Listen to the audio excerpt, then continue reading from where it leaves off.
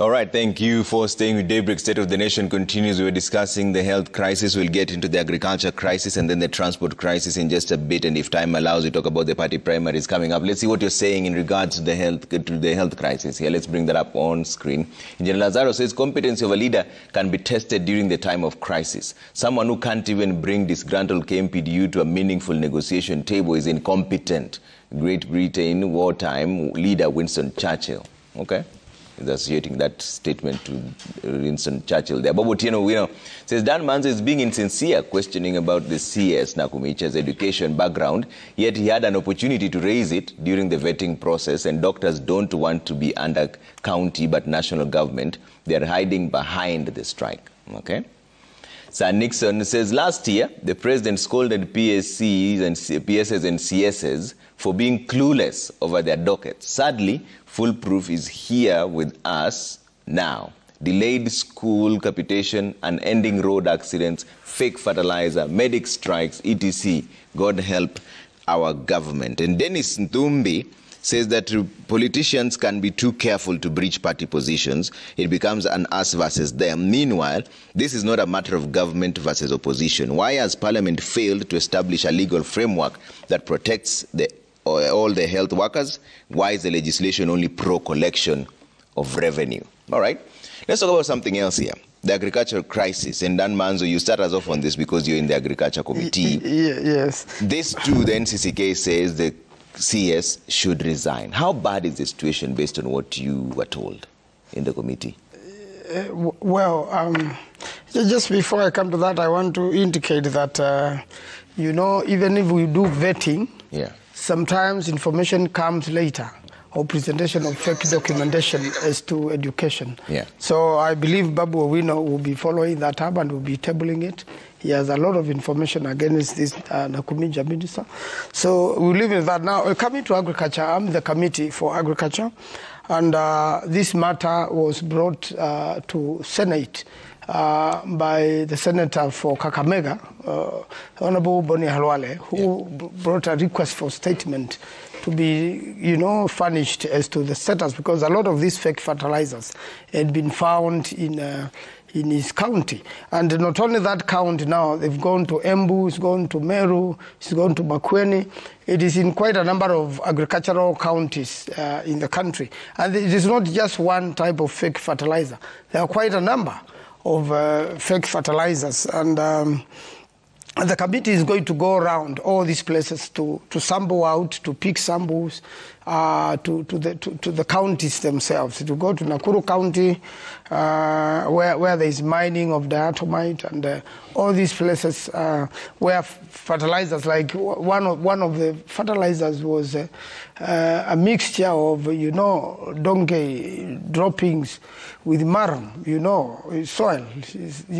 So, so, so you see, even the, the normal agriculture in Kenya, there is no time uh, compost manure has been used from a donkey. People use cows and goats and that. So the, the, this is fertilizer which is valueless to the farmer. And when, when you look at like the diatomite case, uh, where, where, where, where, where Joe Kariuki, the owner of some company, uh, uh, which was mining this diatomite, they said it has some use to certain soils in the country. They try to give an explanation. Uh, and uh, and, uh, and uh, there are occasions it is used. But again, we want to blame the Minister of Agriculture. We should have extension officers who advise us on fertilizer. And it means this issue of fake fertilizers has been going on for a long time. You know, a, a bag of such fake fertilizer is going for 1,700 and probably a businessman has made over a billion shillings out of this, which is totally valueless to the farmer. What happens with these rains if you apply fake fertilizer? Then it means your crop is going to be very poor. And it means uh, then, then this is like something against food security. Mm. Anything against food security is equated to terrorism to the country. And therefore, it's a very serious matter. Hence, the calling of the resignation of uh, my very good friend Linturi. Uh, as much as he has worked very hard, he was the first one to deny that there is fake fertilizer. I believe he should have the best information as the Minister for Agriculture. Then they gave contradicting, uh, you know, uh, uh, statements with the permanent secretary in charge of crops. So, so it means uh, there's a problem in the Ministry of Agriculture which has to be sorted urgently. And the Ministry of Agriculture also has historical problems It's, has had problems for a, for a long time. There's a lot of, there has been a lot of corruption in that ministry uh, in, relation to dealings, you know, with the produce and the fertilizers. And again, also, it is the same ministry uh, which, which, which you remember we, we, we had quite a number of issues uh, in, in relation to seeds. So, so it's not just fertilizer. Then when you have problems, fertilizer, then fake seeds, then it means with, without irrigated agriculture, really, Kenyans are in trouble. And therefore, really, I want to call upon Honorable Linturi, to, who is a very brilliant legislator and now a minister, to put this in order. And uh, uh, he, he is one man who, if he puts this right, Yeah. we can spare. From the committee's perspective, is this widespread enough to justify a resignation or an impeachment of the CS? It's a big scam. Uh, fortunately, no one has brought an impeachment motion against the CS. You know, in an impeachment motion, you are able to lay uh, grounds. Uh, some of these things could be corrected, but it is a widespread scam. Yeah. It's so widespread that it must be stopped.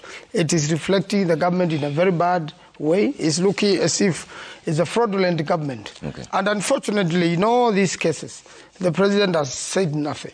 We expect the president, who has been a minister for agriculture, to be on top of things, Yeah. uh, so that uh, we, we can be able to get quick resolutions. And these farmers who's been conned Yeah. can easily be compensated with the real fertilizer, because I believe there is real fertilizer also in the country. Okay. Uh, and the ex- experts must come, uh, so, the- you know, in the Ministry of Agriculture and uh, always make sure they vet the fertilizer which goes to the people. Okay. Mkwanja, is this a justification for resignation like the NCCK is calling for? I think I would, want to agree with Honorable Maanzo uh, on the use of impeach resign on, on, on, on Honorable Nakhumicha, the CS for Health. It is, for me, Linturi is a proper candidate uh, for impeaching and resigning as Minister for Agriculture on this, on the, on the very basic reason. If it is proven that indeed there is fake fertilizer, and I come from the breadbasket of this country, Trans Nzoia, uh, last week uh, I, I have uh, been out there uh, doing my bit to contribute to this uh, food security conversation by being on the farm. And, and, and therefore, what, if it is proven that actually there is fake fertilizer uh, and farmers are being supplied with maram and donkey poop and diatomite for agriculture, then Linturi should pack and go. My worry is this that majority, and, and with a lot of respect for the legislators here, majority of our legislators are out of depth on these issues. and and, and, and the, such a CS will easily get away with these things. I can bet, uh, call us back with the Honorable uh, Maanzo and uh, Senator for Bomet in a few weeks' time to see how much the committee, his committee, has done on this. I will tell you, there will be no progress. Um, and, and, and that is a very important thing because I, I am worried that the CS Yeah. has basically uh, said something contradictory to the facts, something that could be found out and established. Um, Why do you think there'll be no progress in Maanzo's committee? I- I mean, we have seen this before, and you have seen that they have quickly concurred that even the impeachment against Honorable Nakhumicha will be down to uh, numbers and such things, and not fairness and, and, and, and, and objectivity of assessing the facts that are, you know, and, and, and that just has been the quality of, of this house. And it goes back to the quality of the citizen that we have. That if we look at ourselves in the mirror, is uh, a clear reflection of who we are when we look at parliament. But let me leave it at that uh, for, for a lot of respect for the gentlemen that are here. Let, I think we had progressed from the Kibaki era to, I think, to a particular level where the issue of cost, access, and quality of farm inputs was not an issue. All right? But unfortunately, uh, Honorable uh, Sigei's government wants to take us to the scenario where farmers are eating seeds and, and, and not planting seeds. We need to deal with major issues in agriculture issues of mechanization, issues of market access, issues of value addition. We cannot be retrogressing back uh, to the quality, cost, and, and, and, and, and, and access to uh, farm inputs like fertilizer and seeds. It's very embarrassing. And this is one thing that we really expect the president uh, to take up and address. And he would do himself a very huge uh, justice if he actually asked Linturi, if proven, that this fake fertilizer in circulation, to step aside on the mere fact that he has denied that there is no fake fertilizer and blamed it on opposition politics. Okay. Sigei? Um, I, I want to first of all uh, allay fears uh, on the indictment of uh, the members of parliament and also even the committees in parliament by my brother here, Mogwanja. I mean, Senator Maanzo is a seasoned uh, leader. If he was, as Mogwanja attempts to describe, he would not have been brought back the number of times that he's been a legislator. That's why he's saying is a reflection of the people It elected. is not the case. People of Makueni are very Because- different. I I mean, uh, Trevor, when, when you look at the kind of work that goes on in Parliament and the kind of engagements that the members of Parliament at the committee level undertake, it is exactly that which they are supposed to do. But where I want to defend again? them. Would you name now? uh, earth-shaking I mean, uh, result that came from a committee? That is, that is where the problem is. It's not the there. problem is that we would look forward to we look forward to people being, you know, I, I mean, Something earth-shaking concrete, thing. a result. There the are want. so much things happening. The enactment of laws that goes on every day that sustains the running of a country happens in committees. So it, it's, it's so it's so unfair for, for, for, for my brother here to say there is nothing that will come out of this investigation. We will come back here. We'll, we'll definitely come back here. We'll definitely come, We'll back, come back here. because that Can is run for a seat and become a better reflection? I, I have not He- said he- I will not ca- he lie. can't do I'm, that. He- he I'm, I'm only oversighting Yeah. the oversighter. Yes. My, my conclusion is very simple: that we will come back here and see how far we made progress. Okay. It is And- planting season, Trevor. and it we is, is, it is one it's one thing to allege Numbers Yeah. messes up. Okay. not, not even that not even that maanzo it is one thing to give an allegation against an individual I, I liked the qualification is made that the mere fact that cs linturi for example had uh, you know uh, outrightly said that there are no fake fertilizers in itself would warrant an action by the committee. But the rest of those allegations are subject to investigations. That is what exactly the committee is doing. They will go out there, identify areas where the allegations pick up information that would stand the test of time. So let's not blanketly also say that the, mere fact that uh, somebody has uh, made an allegation warrants a very earth breaking uh, thing. Because we also uh, a, country ruled by law and procedures. That same same person you are saying he should go home has a right to be given an opportunity to defend himself because he has a life beyond the position that he's currently holding. So i would want to first of all say members of parliament are doing a good job. The only unfortunate thing is we blanketly say statements which does not also you know, stand the test of time if they are to be scrutinized and investigations conducted appropriately. But will Number it two, not, will it not boil down to the numbers question? Fine. not necessarily. Not necessarily. I come from an area where I survive uh, by, by farming. Remember, agriculture is one of the five pillars of Kenya Kwanza government.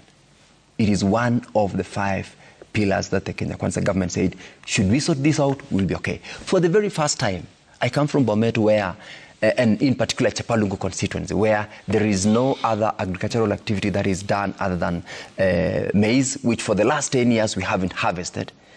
We actually harvested for the first time in 2024, and milk. Therefore, anything that will make my constituents go back to the hunger period where we didn't have anything to harvest, we could not get even any surplus to sell to get school fees. I'll tell you, Trevor, I will stand by that. And therefore, it is a conversation across our region and parliamentarians at large because if we don't deliver on this agriculture merely because of an individual who wants to sabotage because remember the introduction of this uh, subsidized fertilizer in the first place must have killed a good number of cartels who were making money from the sector reducing it from 7,000 to 2,500 must have taken someone out of business. And they are therefore all over seeking to survive. And it's one of the ways with which we definitely will not do an entertainment beyond what we say is enough to sabotage uh, the position of the government. So we will definitely fight. And I'm very sure Maanzo, however much he's uh, in, on the other formation politically, he will agree with me that this is one of the main things that will sort this country. If we sort the issue on food production, we will deal with a lot of problems. Okay. We will deal with it, and I'm, I'm so sure that they will come with a good report. If at all somebody is, is, is indeed uh, found to have participated, the way uh, Namu is telling us that a good number of politicians reached out to say, you know what, don't bring out this story. If the expose were to name individuals, why would we defend them? These are the same same people who, if they can do this to a mere villager, you know, the person out there, two, three families normally would combine to buy a 50 kilogram of fertilizer because they are doing small scale farming. If such a person then would bring down such a family, who and why would I defend? I mean, I would have no moral uh, standing at all. Okay. And I believe that this is one of those things that we will fight it out. Okay. As to whether or not the president has spoken about it, he's got very competent people in leadership, all the way from the CS. That is why he's, uh, he's put them in office. Okay. We definitely wouldn't expect him to speak on each and every issue every day when he has got people in office. Okay. And therefore, I equally will uh, go back to the same statement. Is Linturi uh, a candidate for impeachment? Uh, I would say no. The investigations are ongoing by the committee. There is a directive that came from uh, P, uh, Prime Cabinet Secretary last week and the whole government approach on stoppage of distribution of these fertilizers to allow for the team by Maanzo and other relevant government agencies conduct investigations and come out now with that earth-breaking uh, report, Yeah. which will action on ways to do with Okay. this further letters. All right, we have two more topics to go through, but once I'll allow you a chance to respond to this issue because it's your committee. We've Yes. uh, highly indicted on whether there's anything concrete that will come out of it, or you just do the usual trips around the country and then come back in the marathon. I- including the issue of the distribution of this fertilizer. Yeah. It's one thing to have quality fertilizer, and another thing for the farmers to access it in time. And just, just to just uh, rejoin on it, Yeah. the latest directive uh, prior to the uh, directive on stoppage to pave way for this investigation was actually an expansion of the distribution areas. On the 18th of February, remember Maanzo when uh, the CS appeared before Senate, he gave a report to the effect that uh, on the 18th of February this year, that is uh, two months ago, they gave a directive that each ward out of the 1,496 wards in Kenya should give the ministry two uh, storage facilities powered. To do what? To facilitate distribution of this fertilizer, to get closer to the farmer, and also to reduce basically on the cost of, uh, you know, accessing this particular fertilizer, Okay. which is subsidized. All right. So uh, uh, it's something that had been done. It's something that had been made available to the farmers. Okay.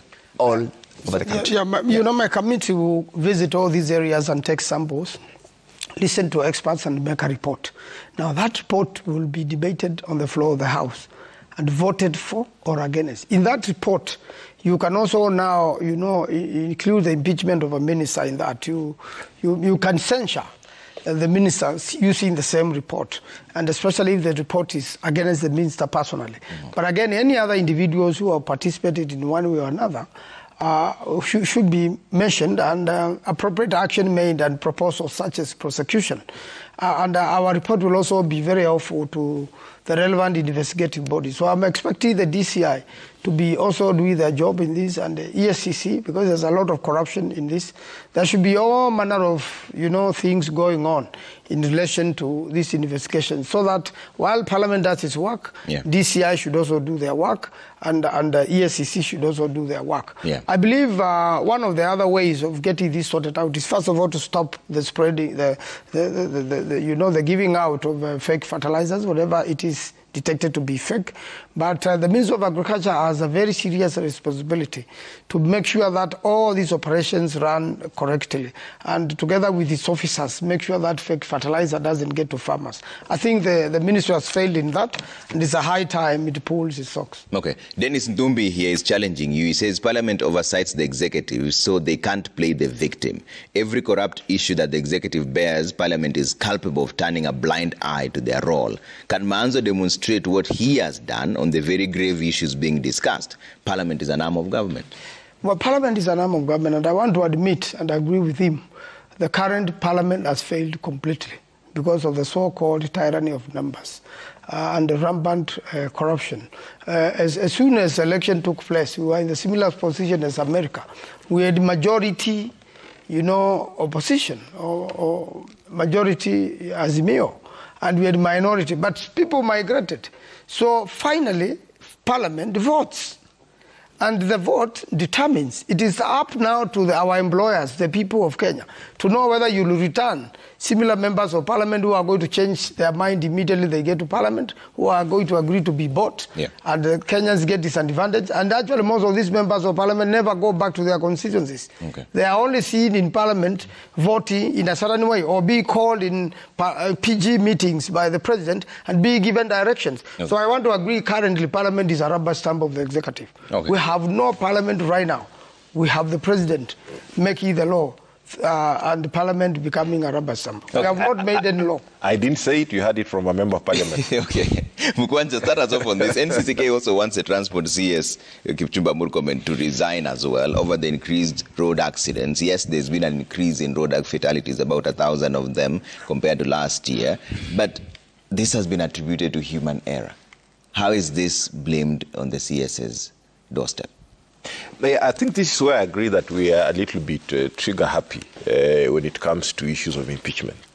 Um, and NCCK, if they uh, look at the facts clearly, um, it would go down to shifting our mindset and culture. Uh, if, if you look at the way Kenyans um, drive on the road, uh, I mean, uh, even it's on the expressway, uh, where you have no traffic, it's very clearly indicated, uh, drive at these rates, but we always want to push uh, a mile from a centimeter, uh, which I think it's, it's something that we need to go back and, and, and see how are we uh, you know, training our drivers? Uh, how are we making sure that the behavioral change campaigns in the relationships between the law enforcers um, and, and, and, and road users is, is actually uh, sorted? And I think it's a cultural issue because the work on the road, uh, the, the law enforcement of the road is, is almost the engagement between road users and law enforcers on the road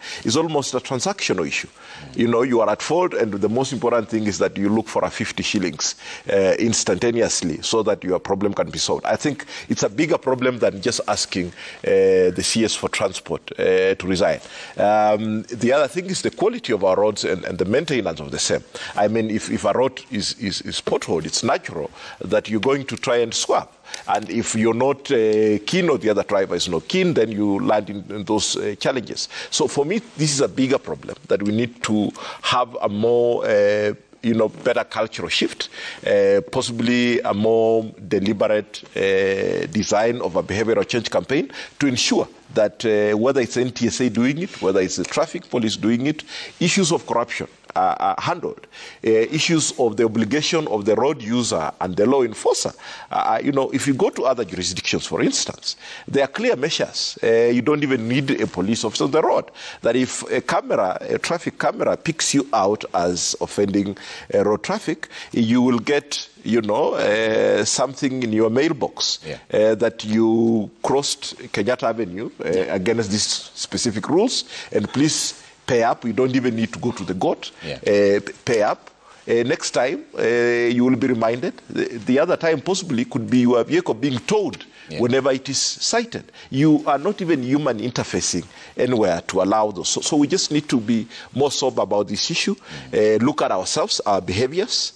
Uh, someone said that if you want to look at the discipline of a country, uh, look at the public transport. Possibly we need to look at those issues much broadly Yeah. than just uh, calling uh, CS Murkomen uh, to resign. I think this is one very unfair uh, one that I will not side with it and ask NCCK to look at facts better than just uh, demanding the CS to resign. All right, Sige? Um, my brother has put it well. Yeah. What factors play in the road sector? We've got the road itself, the condition of our roads, we all know. Yeah. Whether it is on the highways or even in the other roads uh, under the county governments and their condition. We have got the driver, I and you. How disciplined are we when we are on the road? Do we uh, abide by the road safety regulations? Do we abide by the road signs? Do we abide by the speed limit? And all that. We have got now the road worthiness of the motor vehicles. That is one of the things that we would also say. As at the point of permitting a motor vehicle to be driven on the road, has it complied fully with the roadworthiness standards? Has the entities uh, supposed to uh, undertake inspection done the right thing? Has it been that uh, it's now okay for it to be utilized on the road? We've got the pedestrians and the passengers. Because when you look at the statistics as it now, the leading uh, fatalities are actually among the pedestrians. Reason being, either they are also not uh, using appropriate road signs or they just become victims of careless drivers along the road. And same case applies to even passengers. The second lot from the statistics after the pedestrians are passengers. One of the questions that sometimes you would ask yourself is you get into a public uh, transport motor vehicle and, and, and there is a driver driving who is on phone or who is drunk or who literally is careless because of one, two, three things, speed and all that. Because these are people who are on shift, for example. They want to run as many trips as possible to earn as much as they can. And you are seated as a passenger. What is it that you can do?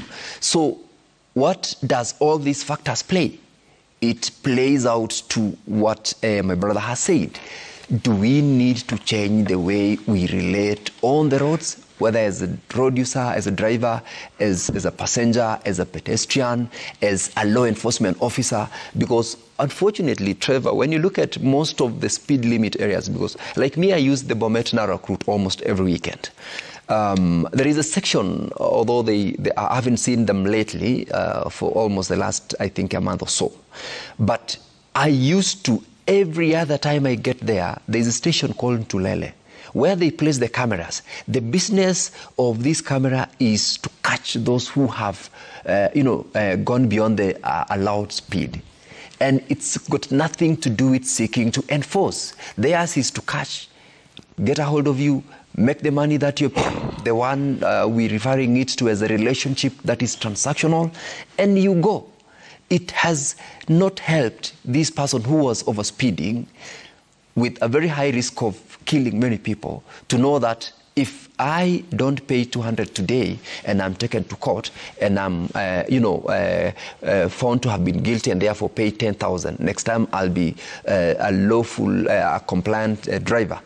It doesn't help. Yeah. So that is also another aspect with which now, when you look at the Road Safety Action Plan 2023-2027, that was rolled out, I believe, last year. It speaks to all these issues. It speaks to each and every of these aspects. Yeah. We need to, because NTSA at the moment has a plan to establish, uh, I believe, inspection centers in a number of sub counties, so that uh, a motor vehicle that is in Nairobi, leaving Nairobi to uh, Western Kenya, can as well be inspected before it leaves Western, whether it's roadworthy or not. Okay. And now, an approach by all of us as Kenyans. If you are using public service vehicles, do not allow a drunken driver to drive you from point A to B. Raise the alarm and support yourself so that we get it done. We are dealing at the moment with a motion, which I know you, you, you must have all seen uh, along uh, Thika Road, where some conductor was, uh, you know, harassed some passenger lady who, unfortunately, the report that we have received is a cover-up sort of a report. And this we are calling out NTSA to deal with it because we are not going to let it off. Where we've seen in the cameras glaring, you must, you, you, this, this, this station must have covered that. And this is a conductor and a driver who are misbehaving on the road, risking the lives of many Kenyans. Yeah. And when someone raises that alarm, few people comes out to support. So what I'm saying is, let us support those who are confident enough to raise an alarm Yeah. so that we take care of our lives at our personal level and not to the minister. And therefore, it is now, uh, as, as, as Mugonja uh, agreed with me now this time around, that look, this is one of those very unfair uh, uh, comments and, and, and, you know, uh, position taken by NCCK to say, look, let the CS, I mean, he's, he's, he's working on a policy in the office. Yeah. A drunken driver is being released and passengers, 14 seater Matatu leaving uh, a station to the next, is completely drunk on phone and people are quiet. What can the CS do? Okay. We've got to be fair. Maanzo? Well, well first, of, first of all, if you look at the front page of the nation, you know, those innocent children really should not have died. And um, Sure. one of the countries' uh, transport network is very well practiced is Rwanda and also Israel. uh, the, the, the, the, the fines are very punitive. And, and, and the Rwandese case is that they give you time. First, you are cited, you are, you are overspeeding, and then next time you are, you are told to pay, then you are warned, then after that they tow your vehicle. So, so you, you know, it, it reduces a road accident, but they have also made sure that their roads are very good. Now, this particular place where these children died in Salama, you know, for a long time, um, we, the leaders of Makueni, including the governor there, Mutula Kilonzo Jr., have stated that we need at, uh, in that particular area because it's very notorious. And uh, first of all, it's poorly designed. Any driver who drives through there, by the time you are getting to the rock bottom of, uh, if you are coming from Nairobi to Mombasa, you, you, you, you will have a, a problem if you have to go off the road for one reason or another. And trucks there tend to, you know, to lose their brakes or something happens. and then that, that, that is likely to cause very serious accidents. So we need an urgent action there. Uh, there are no rail bars even to stop any cars from going off the cliff. There's a very big cliff, and we- also, you know, you need you need you need a, a dual carriage in that particular area and several others on that road. While we are aware that uh, the American government wa- wants working together with the Kenyan government want to do a dual carriage to Mombasa, it is as urgent as it can get because uh, that road has really been uh, a death trap, and therefore the road designs have to be checked again. Uh, and uh, again, also, you remember last weekend uh, we went to Mutito Day to bury a young university graduate who was the hope of his family. Again, a university bus involved in an accident where some rains hit. Many drivers, uh, and you know, I think information needs to be passed quite often, that you need to do safari check on a vehicle. You check the bolts, check the brake fluid, check a few things before you take off Yeah. into a journey. Uh, and and always make sure that your vehicle is in good condition. But again, a lot of people speed in rain. So when you speed in rain, you are likely to lose. You know, uh, you, are, you are likely to find pools of water. You are likely to lose your brakes. You are likely to, to cause an accident. Again, you know, things like that. When it is raining, just drive slowly. You cannot speed really if it rains. And again, also, you know, there is the issue of like Michuki was successful Yeah. in the Michuki rules. You know, safety belts uh, saves lives and all these. Many, many passengers get into a vehicle, there's a safety belt there, they don't want to wear it. Uh, and then, uh, you know, motorbikes. You see, a lot of passengers have suffered through motorbikes. They have no helmets. In Rwanda, everybody has an helmet. It should be upon the Kenyan himself to make sure you have an helmet. Yeah. And I saw that we are manufacturing them here. Why will you ride, even you as you are paid, you are six of you on a motorbike, and none of you have an helmet?